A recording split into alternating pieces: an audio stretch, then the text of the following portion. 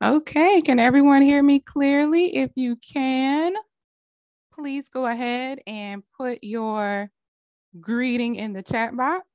My name is Pranithia and I am your host for today. Yes, if you can hear me, let me know. Put a hi, put a smiley face, something like that. Let me know you can hear me. All right, I think Natalie says we can hear you. Hello, everyone. And if someone doesn't mind unmuting themselves briefly, just so I can know that I can hear somebody as well. I can hear you loud and clear. All right, I see a lot of hellos, so that's a good sign. Awesome, awesome, awesome. I apologize for the delay. I had a few of my other I had some other guests trying to get into the room. We're having some technical difficulties that always seems to happen with technology, but I am so glad. Is my picture clear? Can you see me clearly and all of that? I'm trying to figure out which screen. Your screen share looks Zoom. clear to me. And this is my first one of the year, so I'm super excited. Awesome. Thank you for the response. So we have Cheryl in the room. Hi, Cheryl, Sarah, Brittany, Lisa. If I don't get to you all, I apologize. Natalie, uh, Tika or Tika, Tika, yeah. Uh, Larissa. All right. I'm so happy. A lot of you guys have been in the chat. Hey, Miss Lucy. I miss you. I have to call you up sometime. Uh, hi, Patty. All right, everything looks great. Well, since we're starting late, that means we're going to go over time, which I don't like to do, but we will. I am going to go ahead and share my screen. Let's see. Can you guys see the welcome screen on the side? Let me know if you can see that using the chat. Yes, it's, it's on the main page. Screen. We can see it. And it gives you a couple of instructions on what to do and then you probably won't, you'll see me, but I won't see you in a few moments.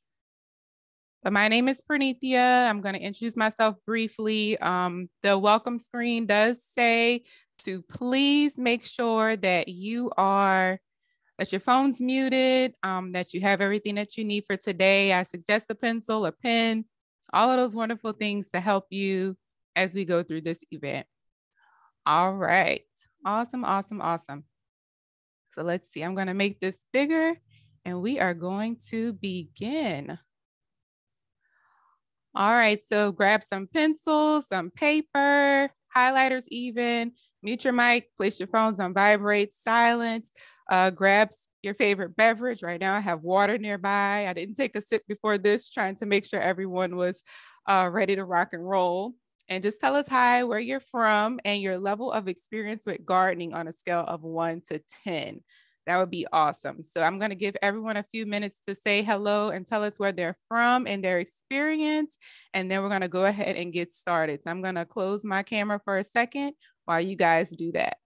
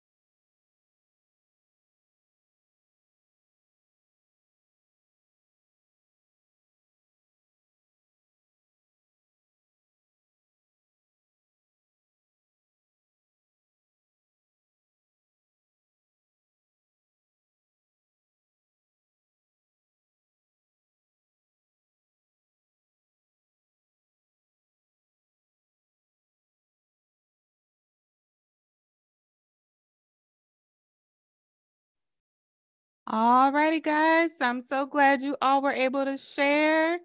We're going to go ahead and begin. Um, let's see. I'm going to go ahead and start my video because I think you guys will be able to see me and see the presentation. Let me know if you can see it. I'm sharing my screen.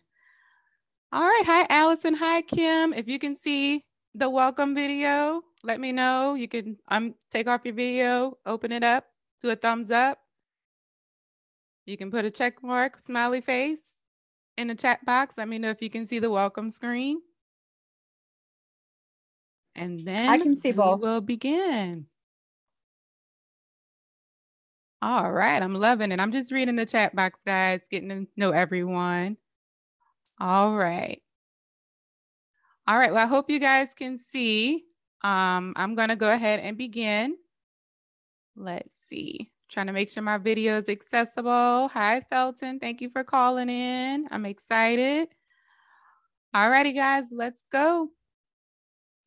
All right, so my name is Pernithia Harmon. I am and have been gardening ever since I was a young child. I'm sure a lot of you can relate to that. And if not, jumping into gardening can be overwhelming, but it does not have to be. And I'm here today to give you those tips and tricks to help you move forward in your adventures with gardening. This is an experience in itself and it involves a lot of experiments. So get ready to just enjoy yourselves. And like I said, make sure you have that pen and pencil handy so that you guys can be involved and have all the information you need to have a successful gardening experience. All right. So I've been doing this for, I lived in an apartment for about five years and I did an actual balcony and patio um, apartment garden. So it came out very, very beautifully. I was super excited about it. And my daughter, at the time she was two, she was like my helper in the garden. She helped water, she helped grow things with me, plant them. So it was nice. And now I live in my home. I've been here for about four years, and that helped me expand my garden. So I have a lot of experience growing in different types of garden gardens, and that kind of I just wanted to share what I have learned with you guys. So we're going to go pretty fast. I want to make sure that I stick to the close time frame of one hour. I hope you guys can appreciate that. I'm sure you can, especially if you have little ones or dinners at seven or something along those lines. Um, so we're going to try to stick it out. Um, so here are the topics for today. The first one is choosing your location. What container should I grow in? sketch it out. So this is our opportunity to use that paper and pen and draw our layouts. Uh, should I plant seeds or purchase seedlings? Soil selection and maintenance and garden protection tips. And then last but not least, the question and answer session, because I know I had a lot of questions that came about in the chat, and I just wanted to make sure I touch on quite a few of them. Um, all right, so here is one of my favorite quotes. If you are following me on Instagram, which I suggest that you do, um, and you'll get links for all that at the very, very end. It says there are no gardening mistakes, only experiments, which I mentioned when we started. Um, in the garden, you're going to sometimes plant a seed and it won't germinate, it won't grow. You'll sometimes, you'll sometimes plant, let's see, you might plant a tomato that you bought from Lowe's or Home Depot, put it in the ground, and you get one tomato. Disaster.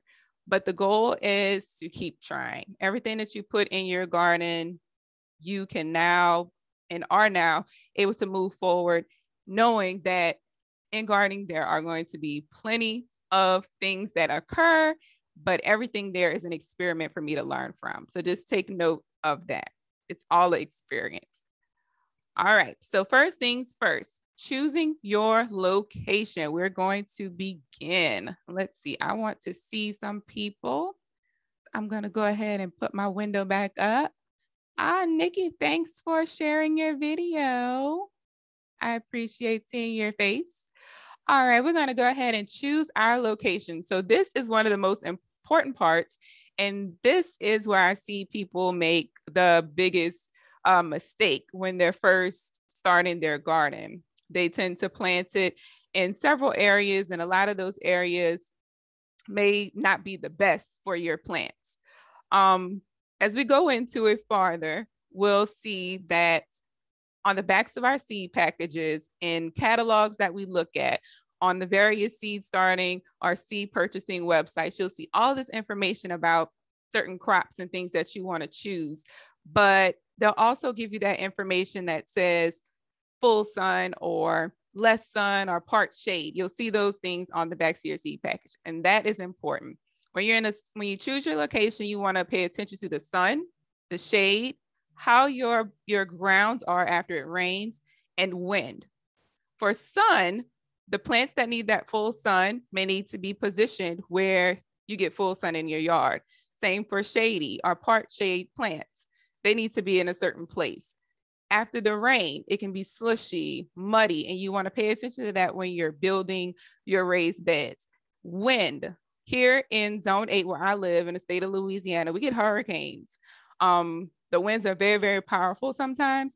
So my garden is actually in an L-shaped corner of my home.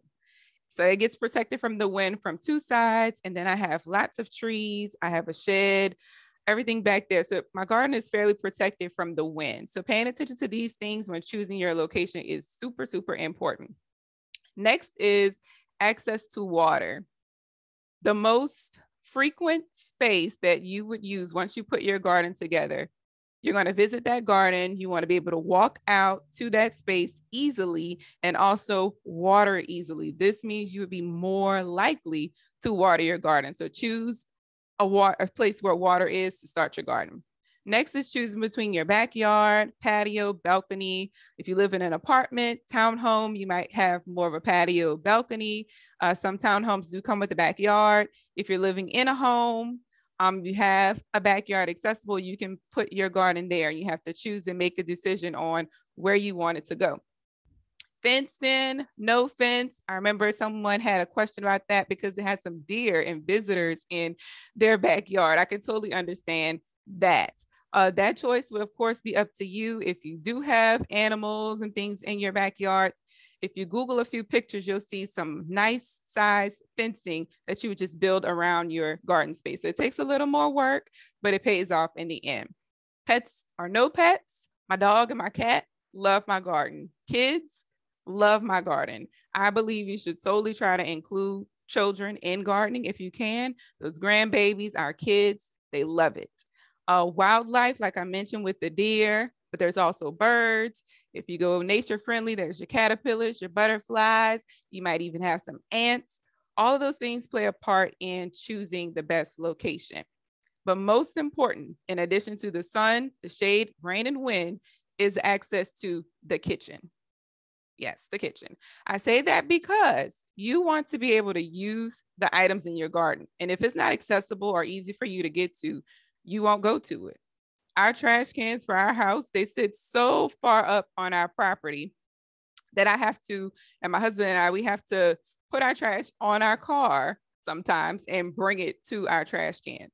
So imagine how often we actually take our trash out and how easy it is for us to just put our trash in the trash can nearest our door or nearest our the outside space so that we can keep our house smelling clean, of course, but just to be able to access and put that trash out there. That's how you want your garden to be. You want it to be a place where you can access easily and be able to eat from it on a regular and day to day basis. All right. So now we're going to move on. I'm going to show you some pictures of what it looks like to choose between the sun and the shade. Here you can see a home that has a giant tree in their space. This is where I say try to limit what you grow there. It looks like a really nice space to start a garden, but if you can see that sunnier space off closer to the house, that's what I would that's the spot that I would suggest you grow in. We can't move the sun. With the exception of grow lights, we can do a bit more, but if you do decide to plant directly in that sun, you can always use shade covers to protect your plants from that heat of sun during those spring and summer months. All right, take a look at this picture with the shovel. This says after rain and wind. Too much wind can damage trellising plants like your tomatoes, your eggplants, anything that grows pretty tall. And heavy rains can sometimes damage your beds and make it a pain to tend to. So if you constantly have to walk through slushy mud just to get to your garden, or the water is so bad and the area just floods completely, you're losing seeds, you're losing crops. Those are some of the things that you want to pay attention to when you're choosing your garden space. Also, I had a question about balcony and backyard and patio gardens. I put my little quote there. It's one of my slogans for my business. It says, No matter what you have, something can grow there. So in these two pictures, you can see that they took and actually put even more effort into the space to make it look really nice um, when they go out there to do their gardening.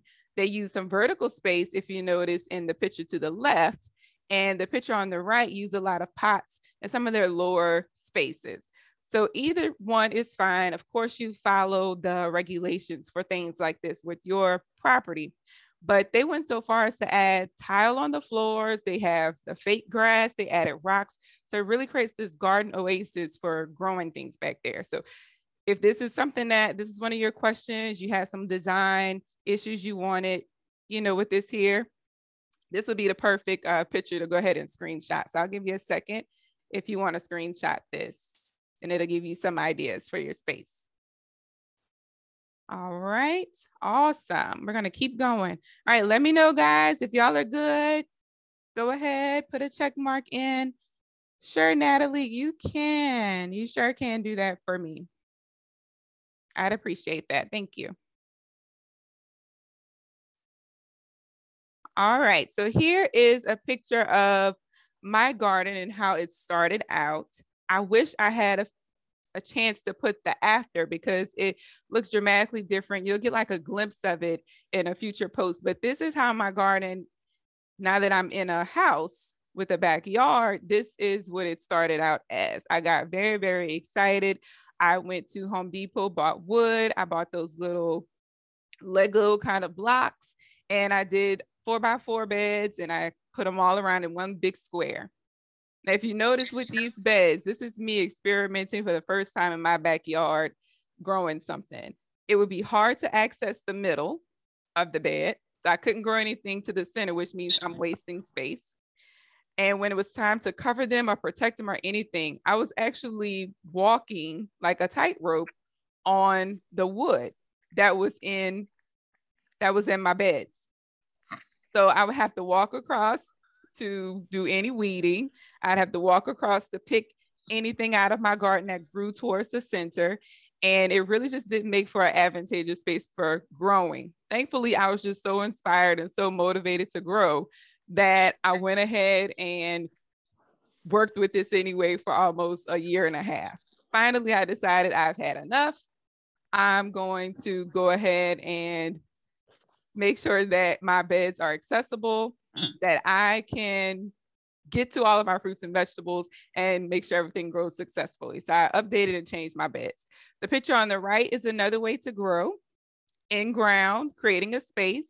She actually has fencing going around her garden. So it makes a huge difference. I think you can see from the picture that they live in like a woodsy area. So those of you who have those deer and elements like that that might try to eat your crops, that could be something that you do, creating that fencing around your space. All right, let's keep going.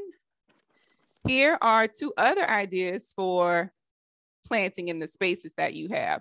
Uh, on the picture on the left is kind of blurry. I didn't realize the pixelation, but there's a bed going across the wall behind the chair. There's another, and there's two raised beds in the front.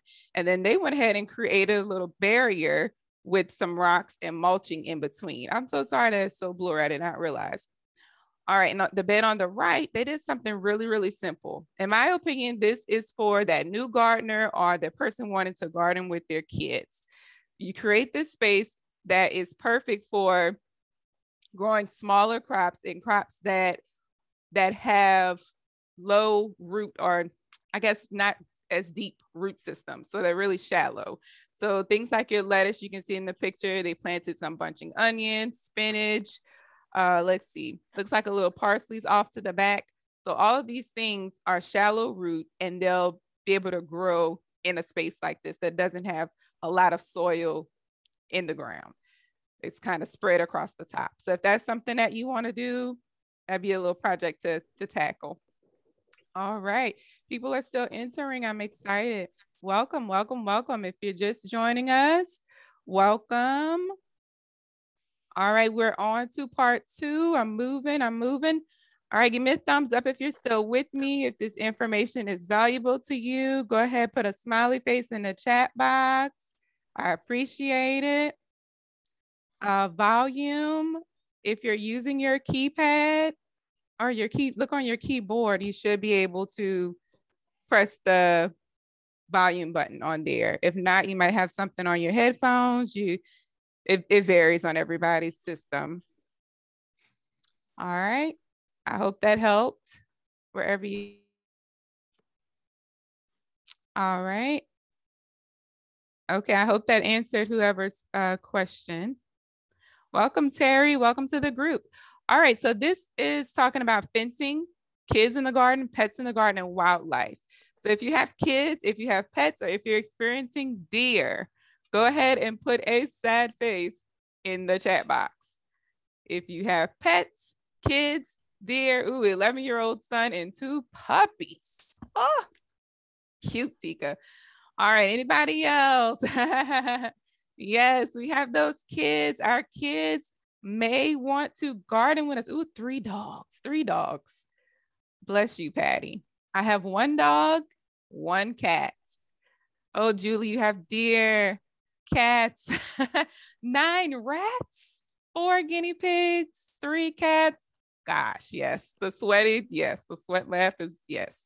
All right, keep them coming. I want to see what you guys have going on. But but you can see my daughter. That's my daughter in the picture. She's two years old now, but in that picture, she was actually 16 months. This was the perfect opportunity for me to introduce vegetables to her. Um, once a child gets to a certain age, they kind of just don't want any vegetables anymore. They turn their head away, they toss the plate, they flip it, they throw it, whatever. They do not like anything green, anything yellow, anything that tastes weird and not sweet to them.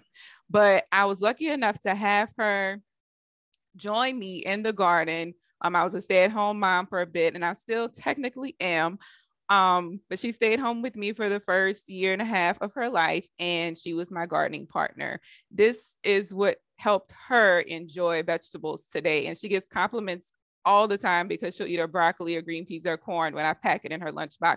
And we have some peas growing. She eats them straight off the vine here too. So having children or pets in your space, it definitely is a way to get them to continue to eat those veggies. They're watching something grow. They feel equally as inspired as you. And it just makes them want it so much more. As for fencing, those with the deer, if you have pets and you don't want them in your beds, there are so many fence options available to you when you go on Pinterest and you look at different YouTube videos and you just Google and you'll find different ideas. Um, it just really depends on how intense the wildlife is when you create your space if deers are like literally you wake up in the morning, you see one every day, I would want a nice, tall, heavy duty, secure wooden or uh, metal fence around to support and protect my garden. If it's just some smaller animals, your dogs, your cats, you just don't want them in that space, and you can get away with a slightly lower fence and it'll be okay. Um, so that's pretty much what I have to say about fencing kids and pets. We're going to go ahead and take a look at a few things. All right, so here it is. It says, What should I grow in? So this is a bit tricky because depending on your space, you have the decision to grow in pots and grow bags. You can grow in ground, in raised beds. You can use whatever you have. I say that because you might only have a red solo cup. You might only have a toilet paper tube. You may have tons and tons of milk cartons and milk jugs. All of those things are able to be grown into. It also depends on if you want the space to be a temporary space, say you're living in an apartment, you know you're going to move, you don't want to put anything in ground, you don't want anything too heavy, that will let you know what to choose from. Um, right here, I have one of the little uh, cardboard kind of cardstocky kind of pots. And in this pot, it can actually transfer directly into the garden, growing into something like this. That means your root systems aren't disturbed or anything like that if you decide to plant in one of these or some type of uh, perishable container. So you're looking at your car, anything cardboard or, or paper for the most part, you can grow in. Um, family and pets that determines what you should grow in. If you want your kids to be able to access your beds, you might want something lower. if you have any type of challenge, um, walking or your arms, you may have arthritis or things like that, you might want a, a bed that is elevated. Uh, in-ground beds are wonderful if the soil content is nice or if you are fortunate enough to be able to make your soil content and protect it um, in those beds, you would be able to have an advantage of growing and allowing your plants to grow deeper into the soil. So that's one of the advantages of in-ground growing. I see a lot of writing. Let's see, I have to figure out. all right, let's see. For all of my uh, drawings here happening on the screen. I think it's funny. All right. And let's see, reach as I mentioned before, trying to reach those garden beds and trying to make sure that they're accessible to you and your needs specifically. Um, you can prepare, you can decide, I need a grow bag, I want to use a raised bed, which you'll see in a picture down the line. Also, it's based on plants. So if you have a tomato plant, they, they would prefer a, a system where they can grow a bit deeper. So that would be a deeper grow bag or being able to put them in a raised bed but also I suggest not putting anything at the bottom of the raised bed and letting them grow into the ground or growing in the ground in the first place. Or you can grow them in a pot, but make sure that they have enough for their root systems to spread. So that's really based on the plant. And at the bottom, I want I put two stars next to this because I forgot to mention it before, but remember your water source. It should be close or accessible to your garden space. So make sure and remember that the access to water is super, super important. All right, so here in this picture, you see all the different options for growing in. There's hanging pots. There's that dog in the garden again. And there's those kids in the garden again. There's some vertical options. You have the trellises there, you have a raised bed, and you have a pot you normally see on someone's porch or something of that nature. So those are just some options and ideas. All right, so here we go. This is the fun part. Get your pencil, get your pen, get your paper. We're going to just quickly for about two to three minutes, just sketch our ideas. So right now, I want you to quickly just close your eyes wherever you are dream up your garden space, what you want it to look like wherever you are. Think about what you want in your space. And when I say what you want, do you want those raised beds? Do you want elevated raised beds? Would you like a grow bag? Would you like to use pots? Um, someone is not muted. If that is you, can you please um, mute yourself? Because we can all hear. Thank you so much. Um, think about what you want in your space. And then next, you want to take some time and figure out what elements you want your fruits, your vegetables. Do you see your kids in the space with you? Do you see your animals in the space with you? Do you see the deer attacking and the birds trying to eat your blackberries off your trees? If you envision all of that, you got that. Open your eyes, go ahead, get your pencil and pen and sketch your space. We're going to do it together.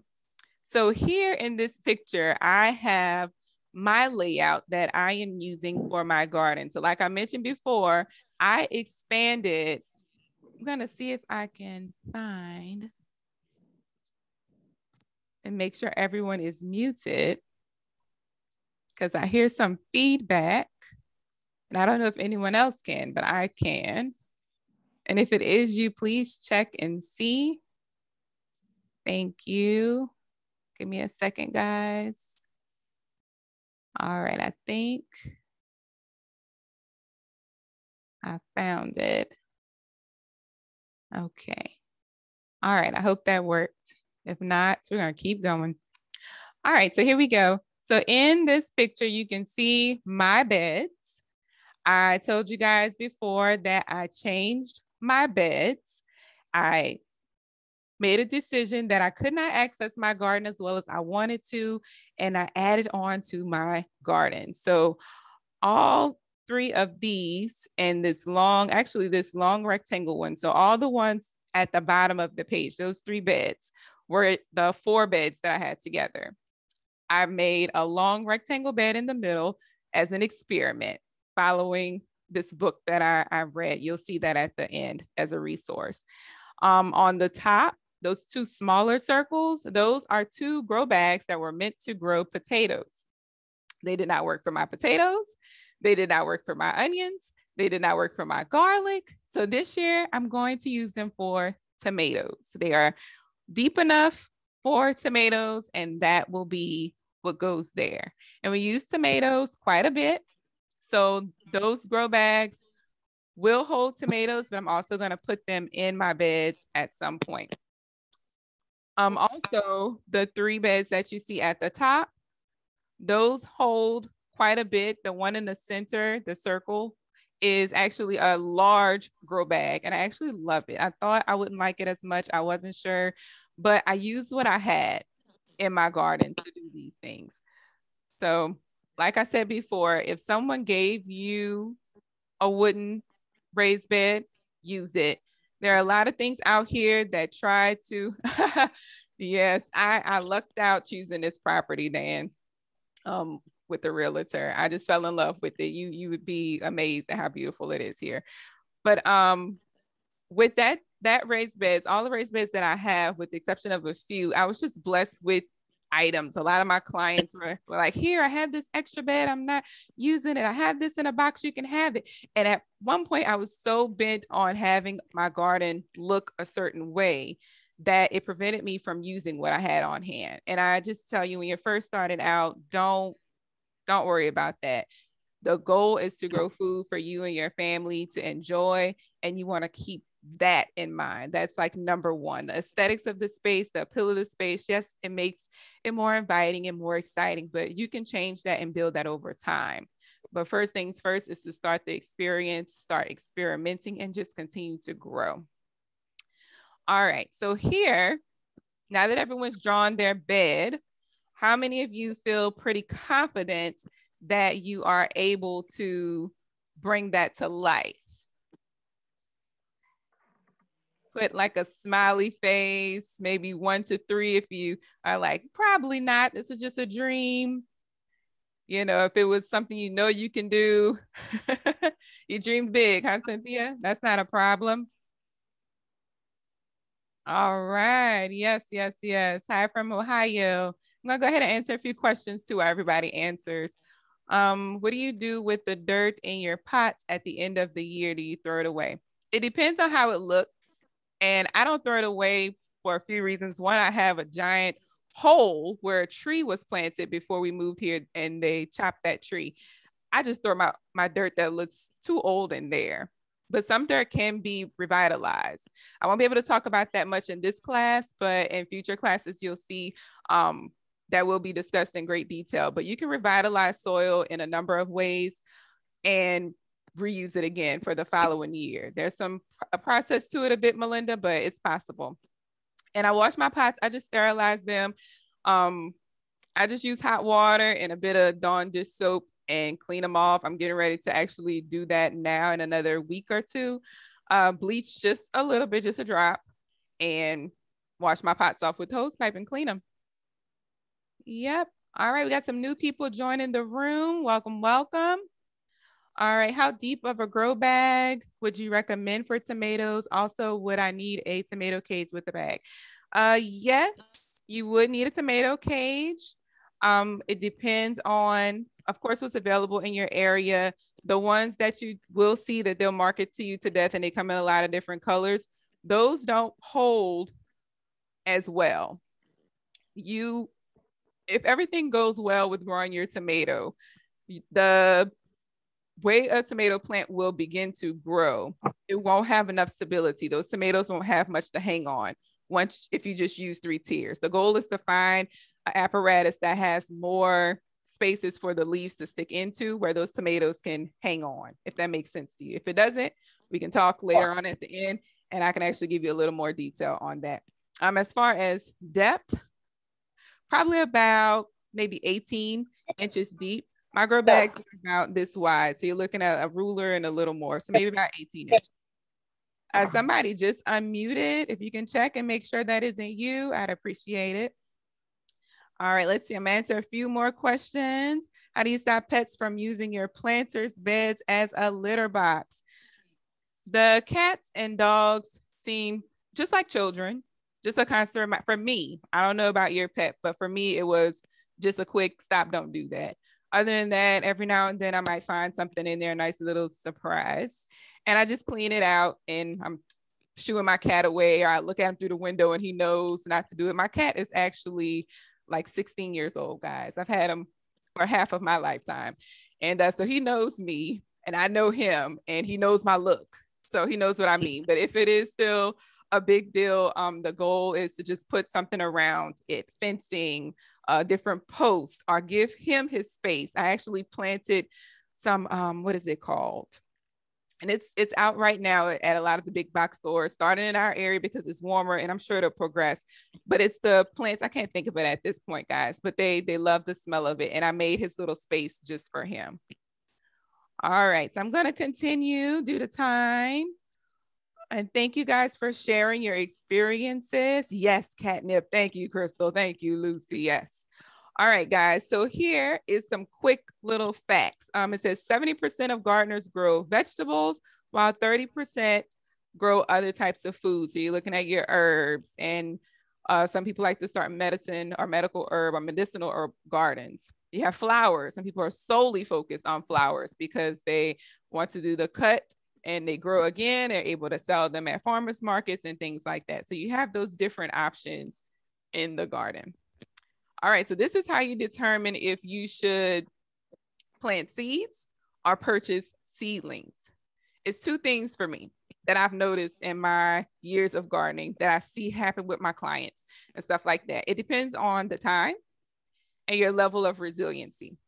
Time means that when you visit your big box store, such as Walmart, Home Depot, wherever you buy your plants from, you can see the time frame that they start to put their plants out. Right now it's still cold where I live, but they're putting out those hardy ish green leafy vegetables. So I was able to go pick up like a pack of romaine. There's spinach out there. Um, there were some cabbage plants that were coming out. So all of these things are things that you can still pick up, take care of, maintain in this cold season, and they'll keep growing into about the beginning of spring. And then it's time to kind of revamp, and you'll see some new things happening so it depends on the time, the season. Um, also, how much time do you want to dedicate to your seeds and watching it grow? Like I said before, sometimes seeds do not germinate, they do not grow. Um, sometimes you overwater them, underwater them, and kill them, or just a lot of things can happen in that time, which brings me to resiliency this gentleman in the picture, I use that face because that's the face that a lot of my clients have tended to get when nothing happened in their raised beds that first few months of planting something. And I had to go back, motivate them, encourage them, and tell them, no, let's just try this and let's do this differently. Because you know we need to build that that level of resiliency with a garden. So if you know that you're a person that kicks the bucket when something goes wrong then i suggest buying seedlings. That means purchasing your starts from a garden center and planting them. If you know you want to kind of you have that time, you have that patience, you have that resiliency. If something doesn't work, you're willing to try it again, then go ahead and start as seeds. Um, it also depends on where you live, if you want to do seeds or purchase seedlings. So all of that plays a part in what you select. So here, hi Tia, welcome to the group. Um, here I have a few pictures of plants that I find are pretty easy to grow with the exception of carrots, and they can be tricky. And tip for you guys to write down, root vegetables that they try to sell you at the store. You'll see them occasionally do carrots. Peas aren't considered a root vegetable, but you'll see pea starts, you'll see bean starts sometimes, carrots, radishes, all those things. Let me break this up. Carrots and radishes are your root vegetables. If they try to sell those to you in a big box store, do not buy them. Root vegetables tend, have a tendency to have a little trouble being moved and transplanted from pot to pot to ground to pot. They don't like to move. They'll end up curving or they just won't grow at all. Do your best to figure out a method to grow these root vegetables by seed at your home, wherever you are. Peas and beans. They'll try to sell you those things. The peas and beans have the quickest germination rate and they will grow so tall and you'll have peas and beans to eat in about three or four weeks time after planting a seed. So do not grow these. Just take the time to enjoy that, that little process of watching them grow from seed to plant to going into your mouth. All right. Next are lettuce and tomatoes. They grow very, very easy, very, very quickly. You get that easy uh, validation of being a gardener when you grow lettuce and when you have uh, tomatoes growing, if you take care of these things properly. That is the biggest thing here, making sure to take care of everything that you plant properly, and you'll reap that great harvest. All right, so what do, what are some of the things that you can grow in your garden? I have herbs here, uh, vegetables and fruits, and flowers. I'm not going to read all of this, but the herbs, a lot of people grow them for the medicinal purposes. We all know with COVID 19 and the variations that are coming this year and throughout, a lot of people have folks started to focus on herbs and how to use herbs in their gardens and how to use herbs with their families to protect them from different illnesses. So herbs are very easy to grow. Uh, they need soil that drains well, some watering. You can use a little fertilizer, a little compost, but herbs have a tendency to take care of themselves. Um, fruit, vegetables and fruits, if you grow your own, you know where it comes from. You've done the work, so you're excited about eating it, and I'm sure your families will be too. Um, and flowers. Flowers can be used in the garden to companion plants by deterring other pests. They can attract beneficial insects and pollinators such as your bees. So it's really important to have a space or in your garden provide spaces for those flowers. That will really help with the process when your tomatoes start to put on flowers and you need a bee in your garden. And bees are very, very picky I'll say last year because I didn't have as many bees, but I had friends and neighbors and other clients that were like, the bees are all over my garden. So I knew I was doing something wrong in mine. So this year I'm adding three times as many flowers as I've had in the past in my garden. So flowers are a big, big thing. Yes, lavender is good for mosquitoes. And I also heard that the actual plant that they put out, um, that they tell us in the big box stores repels mosquitoes. That plant, actually, the oils on the inside of it are what repels. So what we buy, there's nothing really happening. It gives off a good aroma, a good scent, but there that's all it is. It's not really repelling anything. It's actual oil. So you literally have to crush the leaf and crush the stem to be able to release those oils that would do the repelling of the mosquitoes. So thank you for sharing that, Dan.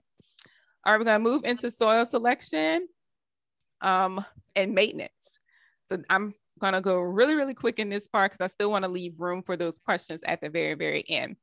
At the bottom, you can see I put two stars. It says do your research. With all of this, if you go organic, if you choose blended soils, and when I say blended soils, there's a lot of garden centers that mix soils and mix it with compost and all these different fertilizers, and they sell it to you in bulk.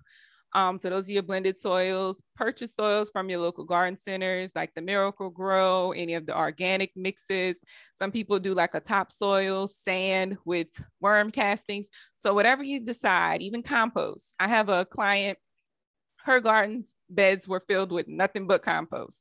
And she got the compost from another gardener who pretty much set her up for success. And you could drop a baby in her compost in her garden beds and you're gonna multiply and have like a thousand babies. Like that's how fertile and nutritious her compost in those beds were. I was just blown away. I was like, I have to do something with my soil. And I've actually been experimenting with soil and soil mixes for the past like three years since I've started doing my garden. So the best thing for you to do is do your research. There's no right or wrong, and you'll hear a lot of things about soils. Um, just do your research. I can go on and on. Uh, next is maintenance and protection tips. Watering, pest control, disease control, leaf watch, fertilizers, compost, wildlife, nature's events. All of those things are what you want to look out for in your garden. You want to make sure for number one, you might want a screenshot or right next to it if you're totally brand new.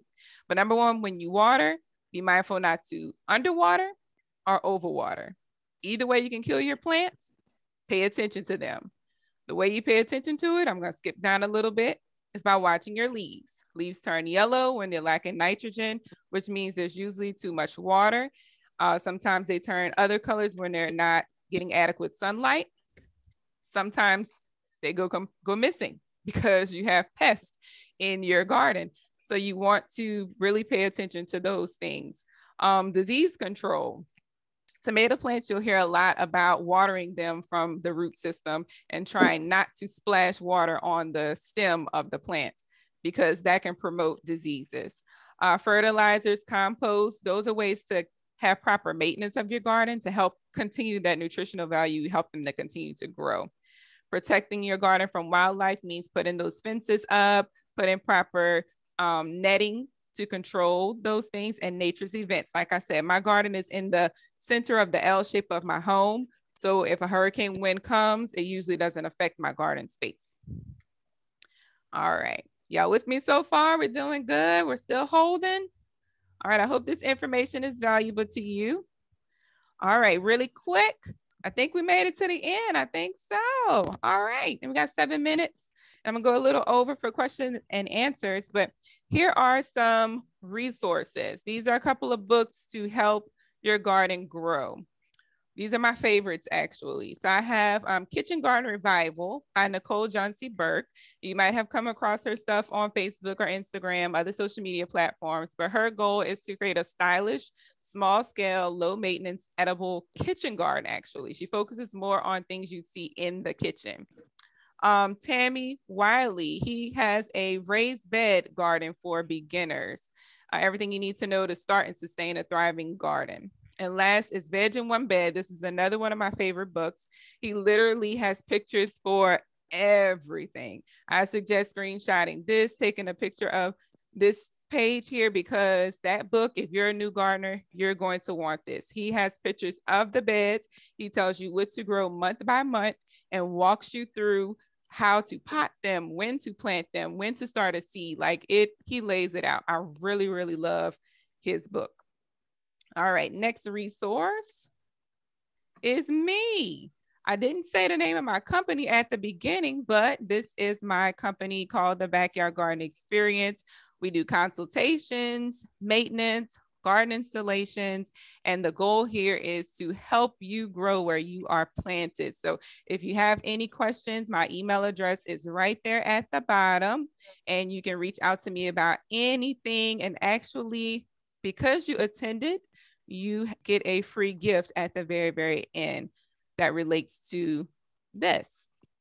Uh, also, here are some resources.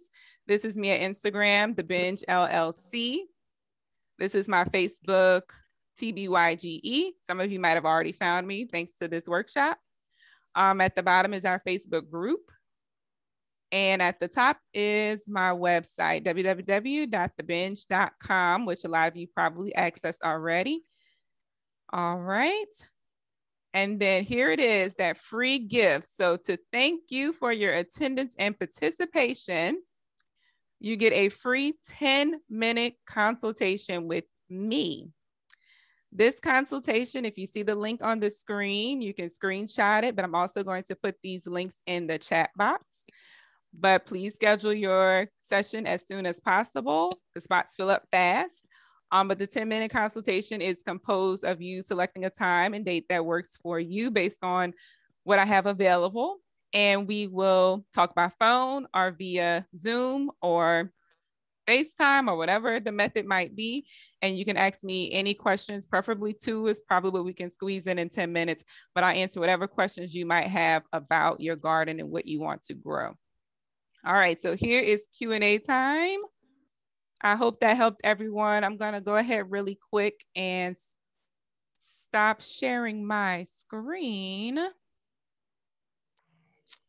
All right, make sure that was my last one. Yes, it was. All right, I'm going to stop sharing my screen.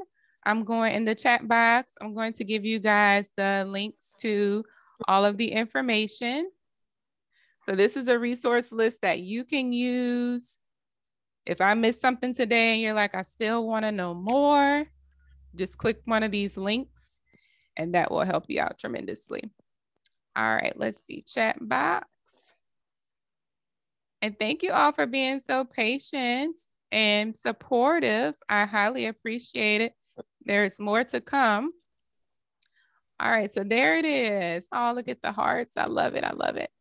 All right, so in the chat box, you have the link to our Facebook group. You have the link to sign up for the consultation. So you're more than welcome to do that. And let's see, myself.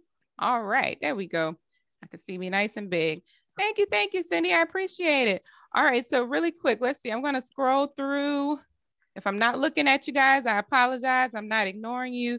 If you need to leave because we actually have three minutes to spare, but if you need to leave, I appreciate it. You coming and I hope to see you again. I want to say that I do have some uh, other classes coming up. I'm actually putting together a five Saturday series, um, and you'll be able to get each Saturday. We're going to step into a new section of gardening. So we're going to do everything from planting our seeds to learning about vertical gardening, how to choose our seeds and seedlings, all the way into March where we get to plant them in the ground when everything first starts with the nice, beautiful sunshine and beautiful hot weather, which I can't wait for. So if you do need to leave at this time, go ahead. If you do have those questions, go ahead and start typing them in the chat. And I'm going to go ahead and look at some of the questions that were filtering in in our chat box. Let's see. One of the questions I have right now says my tomato plants, my tomato plants get leggy even when I pull off the suckers, crazy and long and leggy. Any tips? That's just a part of, of maintaining your tomato plants. And the goal is when they first start to grow, if they're small seedlings, that's when you want to train it on what you want it to do and how you want it to grow. But that's that's pretty much just a part of the maintenance of a, of a tomato plant. They'll go crazy. If it is something that you find to be very, very uh, irritating, you know, and it bothers you a whole lot, you might want to get more of a determinate tomato versus an indeterminate. Indeterminate will go wild. They'll grow as tall as as they as they feel like growing, as well as you take care of them. But a determinate kind of stays small-ish and it already knows how many tomatoes it wants to grow and it won't get any bigger, any smaller, or anything. So maybe trying to determine a plant this season and see if you like that better. Awesome. Thank you, Kim. Thank you, Julie. Thank you, Lisa. Uh, Tika says, would herbs grow better in pots versus in the ground or a raised bed? Herbs are not picky. They're not picky. I have rosemary in a pot. I have parsley in I don't know if y'all remember, but I think it was 2020, maybe 2019, and the Dollar Tree caught onto the trend of those stacking pots. I grow parsley, uh, I grow my thyme, a little chamomile, all those things I kind of get away with growing in those stacked pots. And then I have some in my beds. Uh, let's see. So I hope that helps answer your question. So yeah, you can put you can put herbs anywhere. My sage is in my garden bed. It's happy there, so not picky at all. Some sort of tiny bugs eat up my kale in my raised beds faster than I can harvest. How can I prevent this? There's something called neem oil, and it depends. Neem oil pretty much covers a large majority of plant of bugs or pests that like to eat on our plants. So you can spray the leaves with neem oil. Just make sure when you do get ready to harvest that you just wash them really, really well before eating. Um, other than that, it depends on the pest. I'm not really sure what you're experiencing, but you can do a Dawn, like a one part Dawn to like four parts water mixture and spray that on your plants as well. That does a great job of keeping things back. And other than that, I suggest eat the kale. Eat the kale or grow so much kale that some of the pests can have some kale and so can you. Uh, let's see, can herbs in pots stay out in the winter? It de- my winters in zone eight and below, we experience about 20, 20 degrees. That's how cold it gets here. If you do need to keep your herbs outside, just cover them. I have not had any issues with my herbs being uncovered at this time, with the exception of my sage because it's in my raised beds. But everything that I have outside of my raised beds has done well. Um, I do have one. I can't think of the name of it at this time. I have to share it in our group later and put a picture but I do have one that that didn't do well in the without being covered. Um, If you do need to leave, go ahead. Thank you for coming. Thank you for being a part of this. Thank you, Cindy. Um, and like you, like I said, I'm in zone eight. Uh, let's see, what can I use to fight squash bugs and cucumber beetles? Yes, this is a big one. Um, I've come across somebody saying to wrap the root system of your squash plants, and this includes pumpkins, regular squash, anything with like a nice circular cylinder root system, wrap it in aluminum foil, plant it in the ground, and it'll deter the pest, the what is the word I'm looking for? That vine beetle, you can't you can't get in there. You can't eat it because you can't penetrate the foil, if that makes sense. Uh, other than that, you can kind of build like a little apparatus around the outside. But so far, I have not tried the foil method with these, but you know, work in progress, I suppose. Uh, let's see. Do you think it is a good time to start seedlings indoors? Yes, February is the perfect time to start seedlings indoors, depending on what zone you're in. March is usually when it gets warm in my zone, zone 8B. Um, and then it kind of progressively moves up our United States and everybody starts to get warm at that point. So March, April is when you can start putting these things in your bed. Hi, Cindy. Thank you. Thank you, Crystal.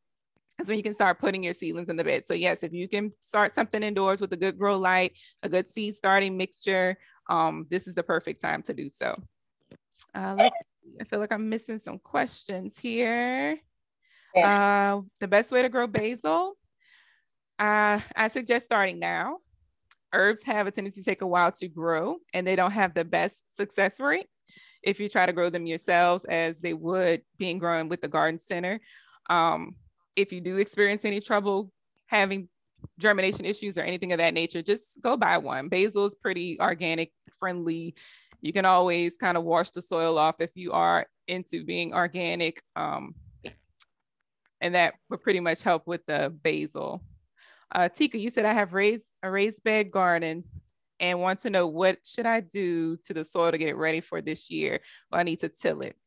You do not have to till your raised beds. Um, when you have raised beds or any pot, you really don't want to disturb what's already happening in the soil. So anything underneath that top layer, don't disturb it because the nutrients are slowly just packing themselves in, packing themselves in. So when you plant that new tomato, the root systems are like, oh, I love this. And they just start to spread because you've allowed your nutrients to just continue to move. The best thing to do is clear off the mulch if you have any or any whatever's protecting your beds right now. Um, put a fresh layer of compost. You can get the compost from your big box store. You can get it from a garden center. You can make your own, which is a class I have coming up. Um, and just put a layer of compost across the top. If you see any weeds, of course, pick those out. And then that's pretty much how you start fresh. You fertilize your beds with any type of dry fertilizer or use any liquid fertilizer. And that is all you need to do to your beds to prep them for the new season. So do not till, it will disrupt the soil life so much. That's actually what I'm facing this season because I moved my beds around. I also had to move some soil around. So I was like, oh, the sacrifices you make for design. But that is one of the things that happened. Thank you, Felton. I'm glad you had a real good time. Uh, can you help me grow real roses, long stem type? I I don't know if this will help you, Rochelle, but I purchased my roses from the store. None of my roses were like grown from any type of seed, or they'll be the ones in like the gray containers where you have the root system but no leaves. I have two rose plants that are actually in pots.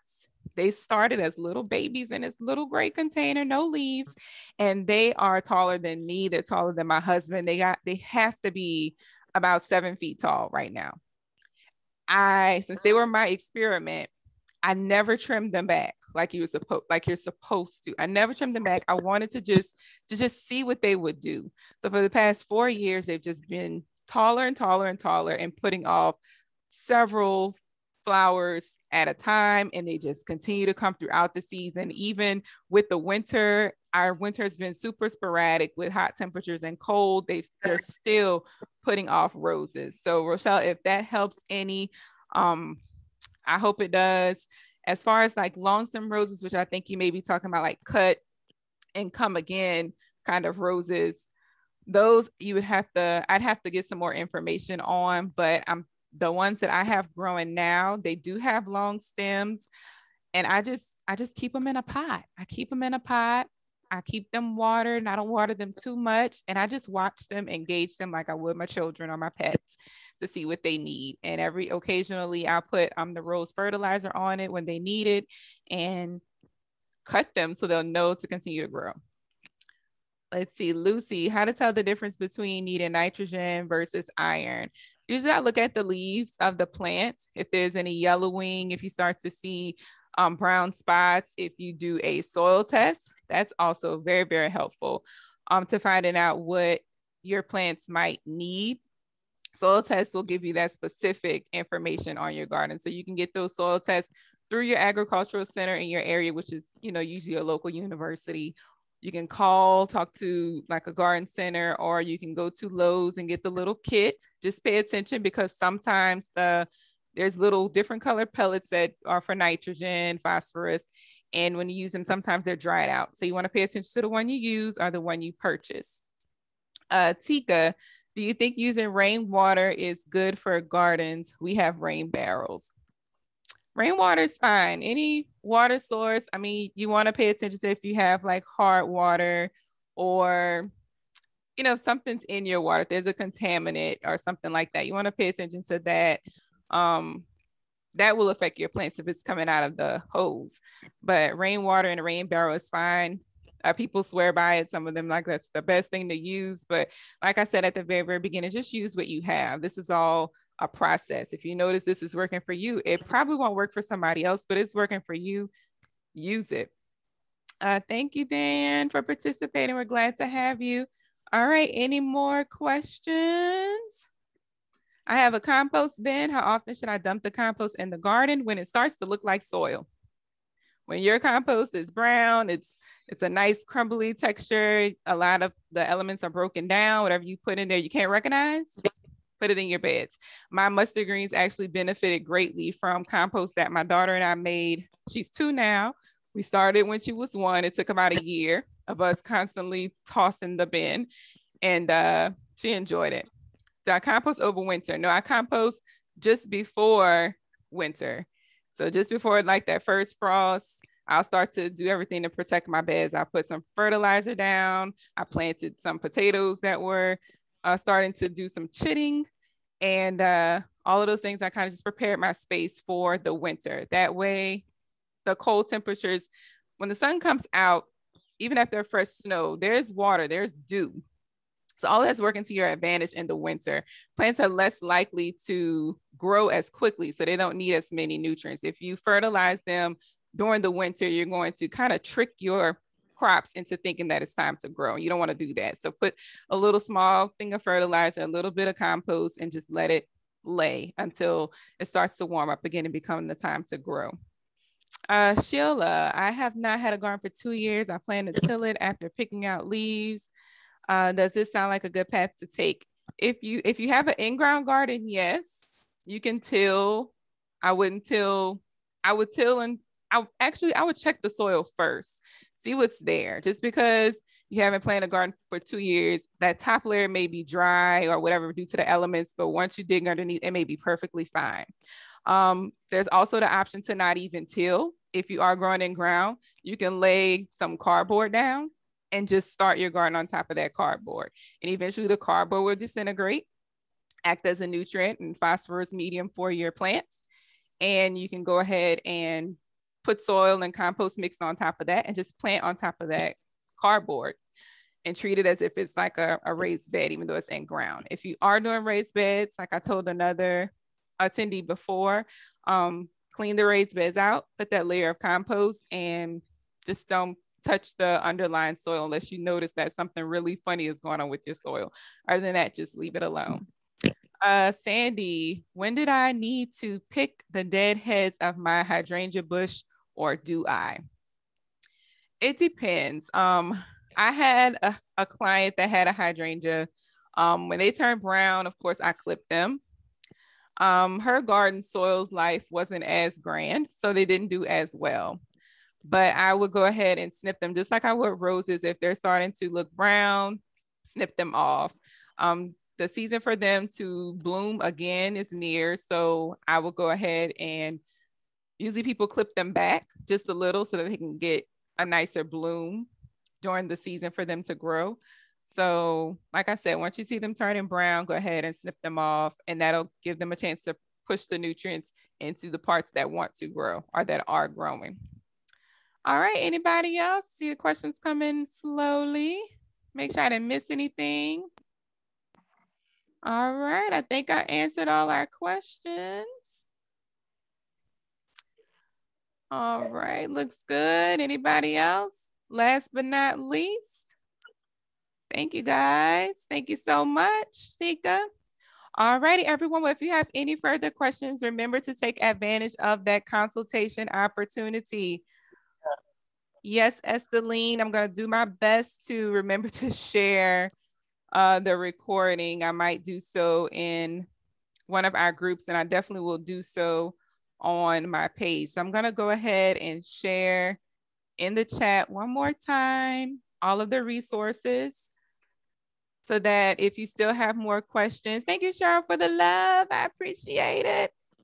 So if you do have any other questions that I didn't get to answer, you can take advantage of that free gift, free 10 minute consultation. Use the link at Calendly. I already had somebody sign up. I'm super excited. So they're going to fill up.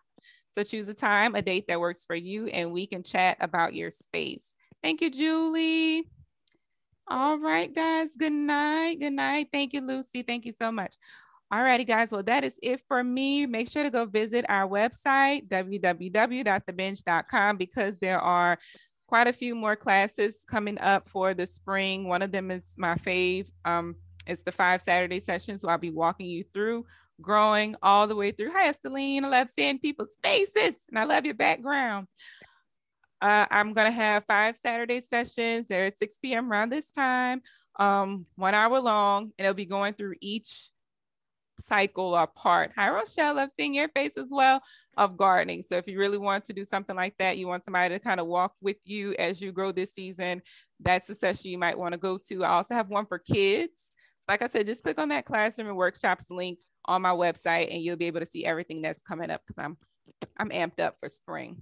All right, Natalie, bye. Annette, thank you, thank you. All right, everyone. Well, that is it. I enjoyed it. I hope you did too. I hope it was informative and I hope to see you guys in our next session. Love you guys. Y'all have a good, good night. Thank you so much.